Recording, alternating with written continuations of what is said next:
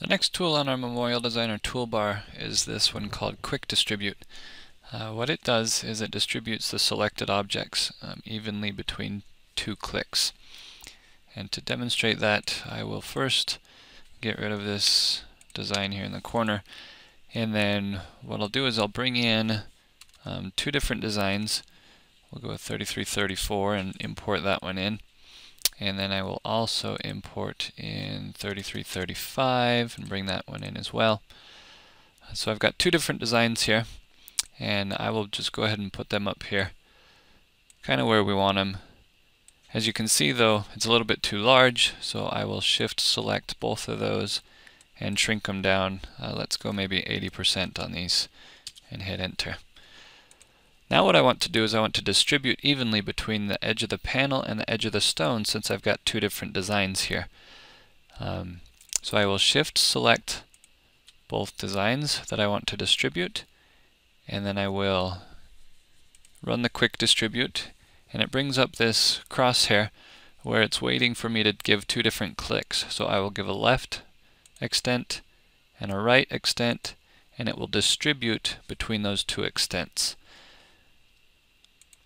That way we've got even spacing between each of the objects and the objects and our edge that we were uh, trying to center on.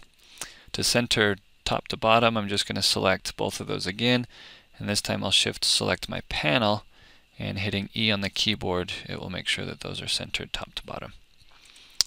Uh, one other thing I notice is that these have an outline applied, so I will right click on the no, fill, and get rid of that outline as well. Um, I'm going to go back to grayscales so that everything is in grayscale before we do anything else. As you notice that distributed correctly, um, particularly it did because when I brought those images in, they came in as grouped objects. If for some reason I had ungrouped these objects, and I will just select uh, these two pieces here and show you what would happen if I had it ungrouped when I went to distribute, it would have actually separated those pieces out, and that's not what I want to happen. So if you've got multiple objects that need to stay together, first they have to be grouped uh, before you can actually distribute them. Another way that you can use quick distribute is by doing a single object. So if I were to take this line of text here, I can quick distribute and I would give it a top click under the panel here and a bottom click at the joint and that would evenly distribute between those two clicks, or in other words, it would center between those two clicks. We could do the same thing for the other side, just grab it and click the bottom and top there, and then it's evenly distributed there.